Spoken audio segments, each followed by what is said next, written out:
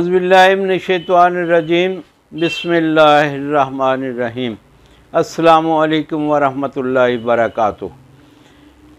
आज जो तोहफ़ा आपकी खिदमत में पेश करूँगा, वो भी एक मजून की सूरत में है। उसका नाम है मजून लाजवाल। यानी इसके खाने से आप पे कभी बुढ़ापा तारी नहीं होगा। बुढ़ापा तो उम्र की तरफ़ से आता ही है। जैसे जैसे उम्र बढ़ती है, उसको हम बुढ़ापा कहते हैं। लेकिन आप पे तारी नहीं होगा। उसका मतलब ये है कि आप हमेशा सेहतमंद रहेंगे। जैसे एक वो पंजाबी की मिसाल बनी हुई कि घोड़ा और मर्द कभी बूढ़े नहीं होते। इन इस दवाई के इस्तेमाल से भी आप ऐसा ही महसूस करेंगे कि आप हमेशा जवान हैं। देखें, जब मादा मनी आपके अंदर सेहतमंद होगा तो आप बहुत सारी मामला से इन ताला बाहिफाजत निकल जाएँगे। बहुत सारी बीमारियों के अटैक से बचेंगे। आपका जिसम जो है वो मज़बूत होगा। आपका जिसम का हर हिस्सा, यानी बालों से लेके पाँव के नाखन तक आप इन सेहतमंद होंगे। आप पे जल्दी बुढ़ापों, बुढ़ापे वाली जो अलामत होती हैं, वो तारी नहीं होंगी। और आप हमेशा महसूस करेंगे कि मैं अभी जवान हूँ। लेकिन इस माजून को ये नहीं होता कि कोई भी दवाई जो है वो दो चार दिन खाएँ और उसका रिज़ल्ट तलाश करना शुरू कर दें। ये देसी दवाई जो होती है, ये मुकम्मल एक इलाज होता है। ये कंट्रोल वाली दवाई नहीं होती कि जैसे हम एलोपैथिक की गोली खाते हैं, वो फौरी असर करता है। हमारी दवाई जो है, वो एक इलाज की सूरत में होती है। इसको बंदा कुछ अर्सा इस्तेमाल करे तो वो इन उस बीमारी से निकल जाता है और दोबारा वो बीमारी अल्लाह के हुक्म से अटैक भी नहीं करती। इसलिए जब भी आप कोई दवाई बनाएँ, अपने जेन में ये रखें कि कुछ अर्सा ये इस्तेमाल करेंगे तो इन इसके मुकम्मल फ़ायदे होंगे। वरना जितनी आप खाएँगे, उतना असर वो करेगी। उसके बाद ये आप कहेंगे कि हकीम ने नुस्खा गलत दिया। ऐसा नहीं है। मैं अपने जिगर के टुकड़े आपको पेश कर रहा हूँ। वही नुस्खे आपको दे रहा हूँ जो मैं अपने मतलब पे इस्तेमाल करता हूँ। अल्हम्दुलिल्लाह, मेरे पास रश होता है।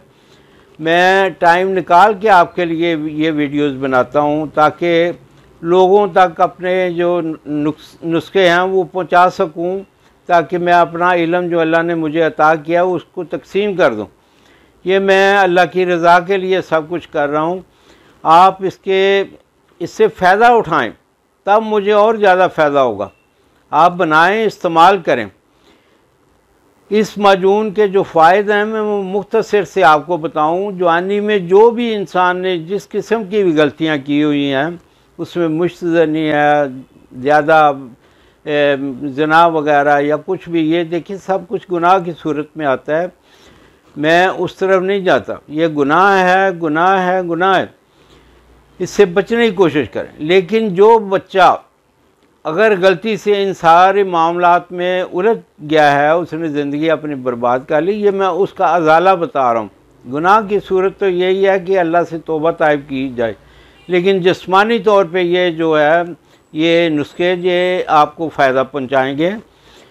मनी का पतला होना या कम होना या बिल्कुल पैदा ना होना और कमज़ोरी महसूस करना सूरत अंजाल ज़कावत हिस्स और बीवी की ख्वाहिश दिल में पैदा ना होना। यानी बीवी पास लेटी हुई आपका दिल नहीं कर रहा कि उसको बुलाएँ भी, उसके ऊपर हाथ भी रखें। ये आपकी ख्वाहिश को इन ताला उजागर करेगी, आपके घर में इन खुशियाँ लाएगी। देखें, मियाँ बीवी आपस में राज़ी होंगे, आपस में मुतमिन होंगे तो इन ताला उस घर में खुशियाँ आएँगी। इन उसमें, उस घर में रिजक की फरावानी होगी। मियाँ बीवी के झगड़े से, घर से बरकतें उठ जाती और इसमें आजकल जो मैं अपने इर्द गिर्द देख रहा हूँ, अपने मरीज़ों में देख रहा हूँ, उसकी बड़ी वजह यही है कि एक मर्द अपनी बीवी की ख्वाहिशात पूरी नहीं कर सकता, जिससे लड़ाई झगड़े का माहौल बनता है। ये इन आप इस्तेमाल करेंगे तो इस इससे आप निकल जाएँगे। आपके घर में इंशाल्लाह खुशियाँ आएँगी और आप अपने आप को बहुत बेहतर महसूस करेंगे।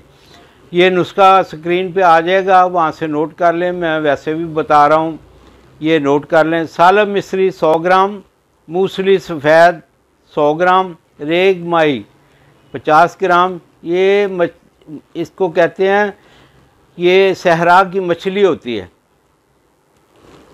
कैचुए पचास ग्राम बीर बोटी पचास ग्राम, तुखम उटंगन पचास ग्राम, ज़ाफ़रान बीस ग्राम, अंबर दस ग्राम, शहद आठ सौ ग्राम। आपने सब चीज़ें बारीक कर लेनी है। ज़ाफ़रान और अंबर को अलहदा अलहदा बारीक करें और बाद में इसको खरल में आपस में मिला लें दोनों चीज़ों को। लेकिन इनको अलहदा रखना है। ये सारी चीज़ें, बाकी जो चीज़ें हैं, उनको बारीक करके शहद में मिलाएँ। शहद को गर्म करने की ज़रूरत नहीं है। शहद में मिला के उसको अच्छी तरह मिक्स करें। जब सब अच्छी तरह मिक्स हो जाए तो फिर ये दो चीज़ें, अंबर और ज़ाफ़रान, इसमें मिला के आप उसको महफूज रखें। आपकी माजून तैयार है। आप इसमें से आधी चम्मच सुबह और आधी शाम, ये भी दूध के साथ आपने खानी है।